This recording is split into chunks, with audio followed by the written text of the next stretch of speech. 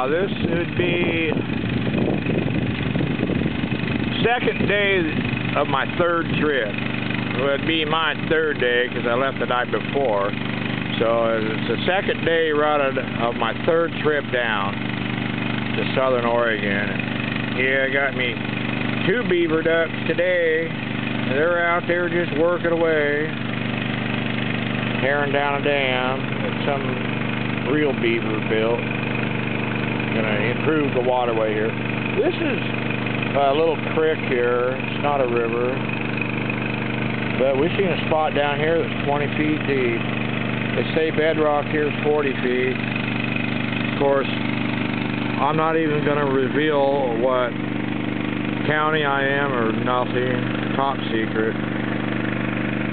Yeah. In fact, why don't we cue the music and go to a musical interlude because I don't want to reveal the precise location that we're on a private mining claim. And this is a really good geologic area. Yep sure is.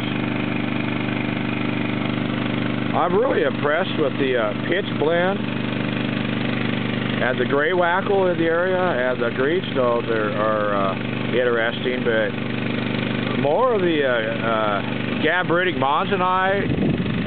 Uh, been a long time since I've been in the uh, Paleozoic, uh, uh, early Jurassic. Been a long time. Up where I live in Redmond, it's all uh, quaternary, and there are tertiary areas. But I'm not really been a while since I've been out of the uh, tertiary into the uh, the Jurassic. This is uh, this is a prospector's dream geology. Uh, you start getting into your your pitch blends, uh, your chromite, uh, uh, your serpentinized metagabbroite, uh, not to mention all the granodiorite. See, there's an ancient channel, but well, they brought a dredge in here and they work the son of. So I'm having trouble finding a spot that ain't been worked. So, and these guys here, they're working their tail off down, moving rocks. And I keep telling them, we got to get some virgin ground somewhere. That's why I come up with this claim. It's all about virgin ground. See, there was big dredge come off here. I mean, look at this parking lot they left here, or look, it's just, it's all been worked. This is really a, a nice geologic area. Of course, your, your gold is in the quartz, but see, we're actually in a, a silica deficient zone where the, the uh, ultramafics are uh, ultra basic.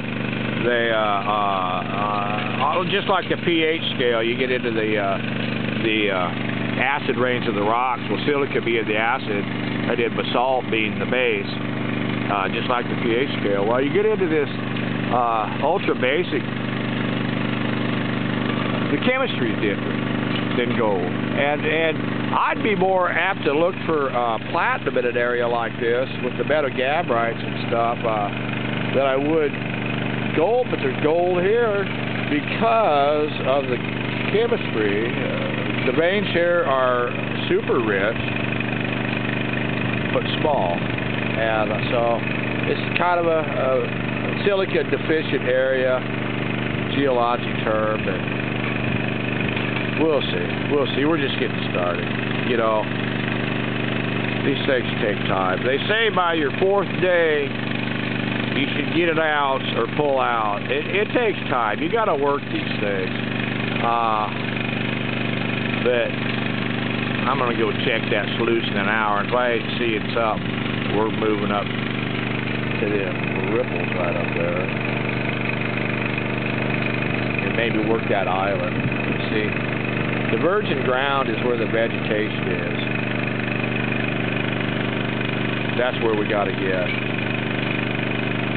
See, that's just, that's about 10 feet deep in front of those rocks. These guys can go down to 20, so yeah, I gotta couple real good divers. We're getting getting her to. I think just spitting it out. All right, you stupid potholes, Casey.